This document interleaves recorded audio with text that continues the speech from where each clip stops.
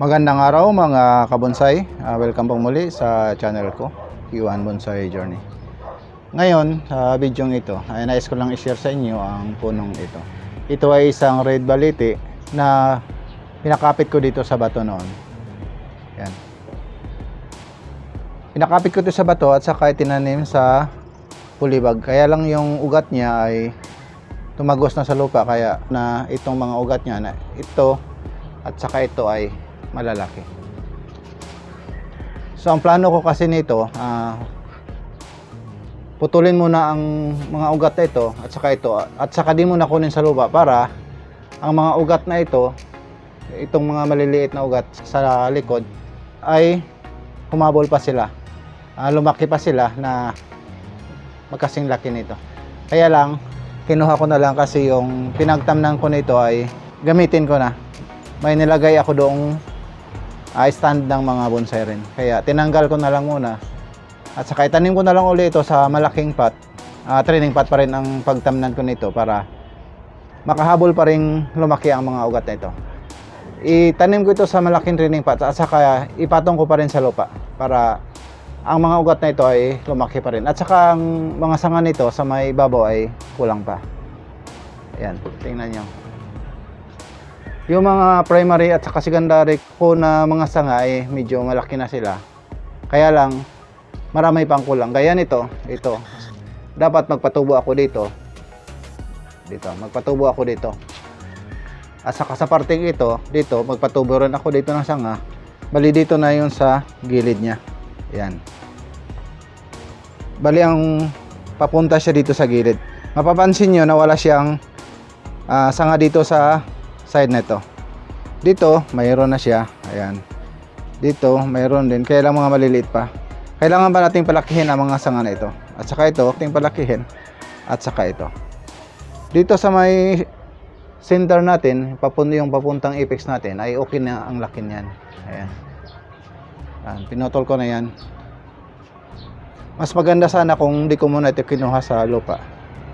Kaya lang, gaya ng sinabi ko, ah, yung pinagtamnan ko nito ay gamitin ko. Kaya tinanggal ko. So ayan siya. Ah, silipin natin ang likod nito. Ah, pero di pa naman ako nakakapag-decide kung saan ang front ko dito at saka saan yung back ko dito.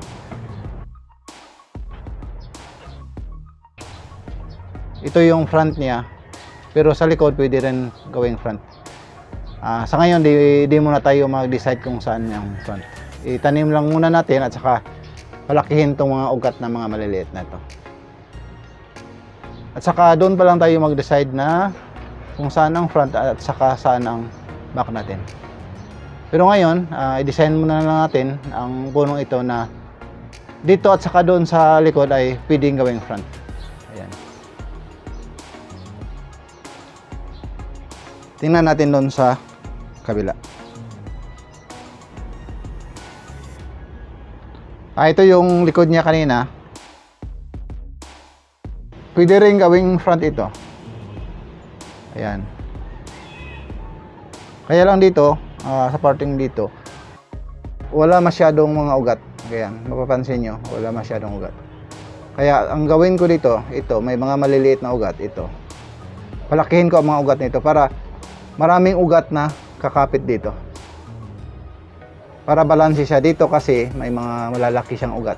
Pero pag dating dito wala siyang ugat. Kaya lagyan natin ng ugat dito na mala- malalaki rin para balanse sila. Saka dito rin sa gilid niya. Yan, kita i-focus ko na.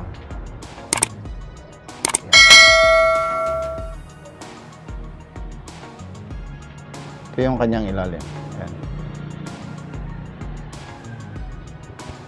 Bali matagal na rin ito sa akin. Ah, maglilimang taon na rin ito sa akin. Kaya lang yung lugar na pinaglagyan ko nito, di siya masyado naarawan kaya mabagal yung paglaki niya.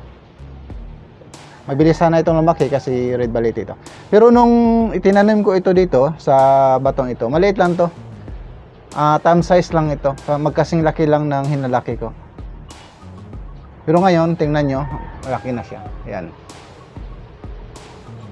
Mabilis pa rin siyang lumaki kahit na yung lugar niya ay di naarawan ng umaga hanggang maghapon. So ayan siya. Kaya ko lang ipinakita ito sa inyo para yung mga baguhan ay masbaybayan nila ito. Para makita nyo kung paano ko to buuhin. Mula sa ganitong itsura niya hanggang sa matapos ito. Para naman ah, magka-idea rin ng mga baguhan kung paano nila buuhin yung kanilang mga puno. Ayan siya. Marami pa rin akong gawin sa punong ito. Gaya dito sa may bandang itaas dito. Dito. Bali ito na yung sanga natin na papuntang apex natin. Ito na yung center natin na sanga. So dito na yung magiging apex. At saka ang sangang ito ito. Maliit pa to. Ah, kailangan ko pa itong palakihin. At saka ito rin, kailangan pa rin palakihin. At saka ito. Ang sangang ito, ah, sanga to na tumubo dito. May tumubo dito na sanga. Ah, if, ifinios ko na lang dito. Kasi dito walang tumubong sanga kaya may tumubo dito, ah, na-fuse ko dito, at saka dinala ko dito. So ngayon may sanga na ako banda dito. Yan. Ito, ang sangang ito, kailangan pa rin natin itong palakihin para maganda siyang tingnan. Ito, dapat ang sangang ito, malaki sana to. Ah, palakihin ko ito ng magkasing laki nito. Ito ito. Or mas malaki pa kaysa nito. Mas magandang tingnan kapag malaki ito. Ayan. Palakihin ko ito. Pero ip- ipaibabaw ko ng konti. Ayan. Itaas ko ng konti ng pagganyan. So ngayon, kaya na sinabi ko kanina, dito sa side na ito, wala pa tayong sanga. Dito sa gilid. Ayan. May sanga tayo, pumaitaas. Kaya kailangan natin magpatubo ng sanga natin dito. Dito. May tumubo naman dito, kaya lang ah, tinanggal ko. Akala ko di ko kailangan. Ngayon, kailangan ko pala. So, magpatubo uli ako dito at saka dalhin dito. Palakihin ko, papuntang dito. Ayan siya. At dito, putulin ko ito ng hanggang dito. Putulin ko siya hanggang dito. At ang sangang ito, ito, ito na lang yung gamitin ko. Ayan. At saka ito rin, ang sangang ito, maliit pa siya, palakihin ko pa ito na kahit kalahati lang nito or 3/4 nito. Kahit kahit ganito lang kalaki o mas malaki pa kaysa dito. Ayan, ito. Para maganda siyang tingnan. At saka ito rin, ah, need pang palakihin. Sasanga natin papuntang apex. Kunti na lang yan. Pwede ko na munang kontrolin yan para makahabol ang ito.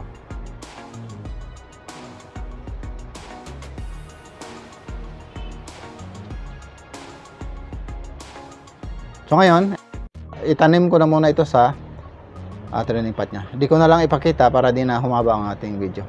At saka pagdating ng siguro mga 6 months, bigyan ko kayo ng update nito. Ayan siya.